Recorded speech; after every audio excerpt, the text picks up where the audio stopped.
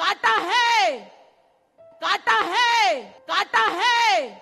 हम भी सब्ज़ी काटने वाले चाकुओं को जरा तेज रख लें। पता नहीं कब कैसा मौका आए। जब हमारी सब्ज़ी अच्छे से कटेगी तो दुश्मनों के मुँह और सर भी अच्छे से कटेंगे। लोगों को भड़काने वाले ये शब्द किसी और के नहीं भाजपा सांसद प्रज्ञा ठाकुर के हैं। तो हम भी सब्ज़ी काटने वाले चाकुओं को जरा तेज रख लें। पता नहीं कब कैसा मौका आए। तो जब हम, जब हमारा सब्ज़ी अच्छे से कटेगी तो निश्चित रूप से दुश्मनों के मुँह भी और सिर भी अच्छे से कटेंगे।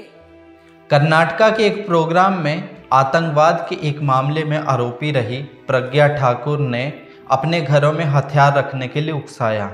केवल बात हथियार रखने तक सीमित नहीं थी, बल्कि उन्होंने लोगों को सर काटने के लिए भी भड़काने की कोशिश की। ये पहला मामला नहीं है जिसमें प्रज्ञा ठाकुर ने भड़काऊ बयानबाजी की है। वो समाज में नफरत फैलाने वाले कामों में हमेशा अगरनी रहती हैं। वो 2008 के मालेगांव बम धमाके में कर्नल पुरोहित के साथ आरोपी रही हैं।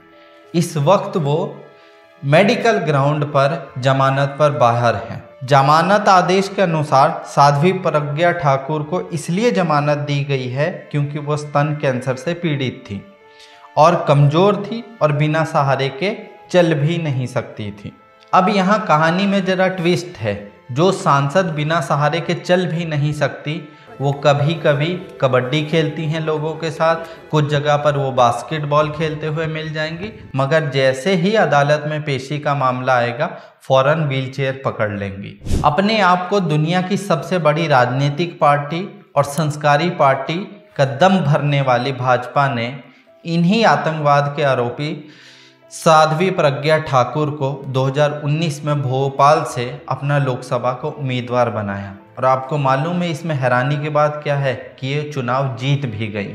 विपक्षी पार्टियों को क्रिमिनल उम्मीदवार के मामले में ज्ञान देने वाली भाजपा खुद एक आतंकवाद के आरोपी को अपना सांसद बनाती है। सोशल मीडिया पर जब आप नज़र दौड़ाएँगे तो इस वीडियो के वायरल होने के बाद से ही लोगों की तरफ़ से बहुत ही सख्त प्रतिक्रिया आई है। लोगों ने इस साध्वी प्रज्ञा ठाकुर को आतंकवाद का आरोपी बताया है और इनके खिलाफ सख्त कार्रवाई करने की मांग भी की है। यहाँ पर एक चीज़ नोट रखिएगा कि ये वही प्रज्ञा ठाकुर हैं जो हमारे राष्ट्रपिता महात्मा गांधी के हत्यारे नाथुराम गोडसे को एक देशभक्त और अपना आदर्श बताती हैं।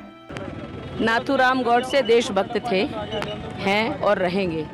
ऐसा बोलने उनको आतंकवादी कहने वाले लोग स्वयं के गिरेवान में झाँक के देखें। अब की चुनाव में ऐसे लोगों को जवाब दे दिया जाएगा। लोगों की तरफ़ से साफ़ तौर पे कहा गया है कि इस मामले में कोई कार्रवाई नहीं होगी। यही बात अगर कोई मुसलमान बोल देता तो अभी तक उस पर आतंकवाद की सभी धाराएँ लग चुकी होती।